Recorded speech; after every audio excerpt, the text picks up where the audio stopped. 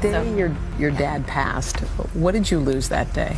Um, well, that's a that's a personal thing. I lost the chance to at at more friendship with him, which is what I told him in the book. Is that I I wished that we'd had more time together, and and I think he he wished that too, because we did like each other, and when we spent time together and we got along, it was kind of great. So I wish there'd been more time.